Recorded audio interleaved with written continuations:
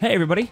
So I just wanted to let you know that Kenneth and I have decided to actually start setting a stream schedule. We will be doing weekly streams every Wednesday night from now on. Now we don't have a specific time on every Wednesday night set, but we will be doing one every Wednesday night. And if you haven't seen us before, you can tell that I'm on a green screen now. And obviously how big it is on the video right now, I'm not we're not going to be that big in the stream. That's this is just so you can see me clear.